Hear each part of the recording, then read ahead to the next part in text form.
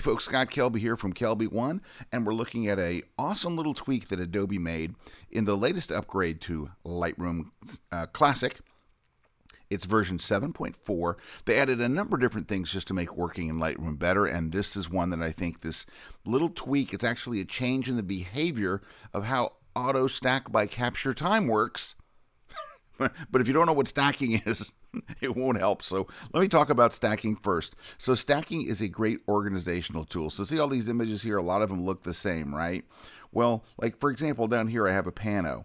Why do I have to see 15 shots that look almost all identical? So what you can do to keep things organized is select those images, press Command G on Mac or Control G on Windows, and it stacks those 15 images under just one thumbnail, right? 15 images, just this one thumbnail. Really, really handy way to stay organized. Now, I'm going to click and you can see what's inside that stack. You can see there's 15 images. And to unstack it, you just click again. You can also press the letter S as a nice shortcut. And so you could go through here, you know, quickly and find images that are very similar, right? And just manually do this. Command G on Mac, Control G on Windows. But there's a better way, and it's called auto stack by capture time. And Lightroom will do the stacking for you. Go under the photo menu, under stacking, and choose auto stack by capture time. And what it'll do is it'll look at the amount of time between each image, like how much time did you take between shots? Because it figures, yeah, if you're shooting a pano, you probably took two seconds between each shot. Click, one, two, click, click, click, and, and it'll put those together. It'll automatically like put together things like panos and HDRs and stuff based on the amount of time. And you use this slider to determine how much time. Well, if by default this one says it's one minute between shots, it would stack my entire shoot and organize it for me into just eight little thumbnails. That would be awesome. Now, if you want less time between instead of one minute, you can go down to 11 seconds, or you can go up to an hour, in which case I would only have two stacks one for when I shot on one side of Dubai, and one when I shot on the other side of Dubai. All right, so here's where the little tweak comes in. And I've been teaching and talking about this on my Lightroom seminar tour, which is when I show AutoStack by capture time, I show what I what I think is um, an, a, a weird a weird result. Like when you click stack, what do you think would happen? Well, you would see the, in this case, eight thumbnails. Right. But that's not what happens by default. By default, you click stack and it does the stacking, but it leaves all the stacks expanded where you can see the images. So it looks in the old version of Lightroom, or which was now a week old, it looks like this. So you'd click stack and it looks like this.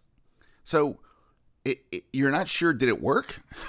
so and and so here's here's what I did. I, I, I made a video about this and I wrote to Adobe and said, hey, when you, you when you click that button, it doesn't look like anything happened. And so what I've been teaching in my seminar is this: go under the photo menu, go to stacking, and I tell my students go choose collapse all stacks.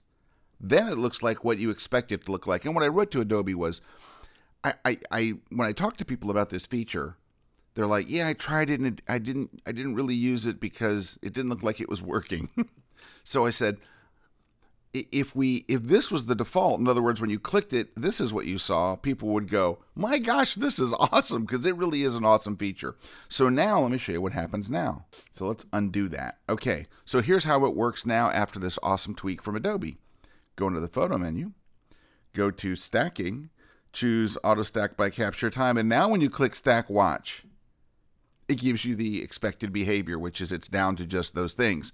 So it's it's a little tweak, but these little tweaks that Adobe makes, they just make our, our lives better. And in this case, I think it will get more people to use this awesome tool because now you know all I have to do is open up a shoot, go to auto stack by capture time. I click the button and it tidies up my uh, collection for me. So anyway, just wanted to show you that. And I also wanted to thank Adobe um, for listening to everybody because uh, you've seen how many changes they've done recently and my hat's off to them on that they keep tweaking Lightroom, they keep making it faster, they keep making it more um, user friendly, easier to discover features. And I think this is just one of those things that kind of flew under the radar. And I'm very grateful that. Uh, that Adobe made this change. I think it'll make it better for everybody. So thanks for watching, guys. Also, hey, while I got your attention, head over to kelbyone.com and just check it out.